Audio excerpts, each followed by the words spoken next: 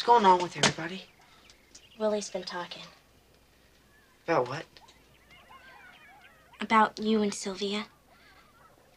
Mrs. Oleson listened in on a telephone call, and she knows that Sylvia's pregnant. And she told Willie, and Lord knows who else, that you're the father.